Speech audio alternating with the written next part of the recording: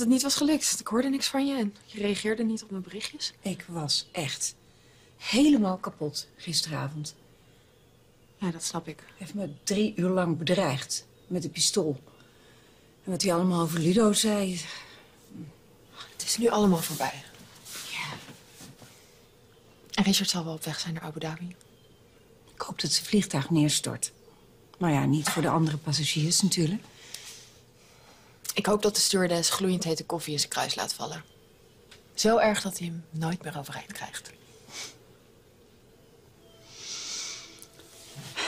Het is gewoon gelukt.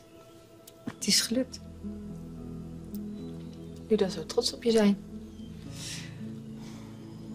Maar als jij mij niet had geholpen... Ik, ik weet echt niet hoe ik jou moet bedanken.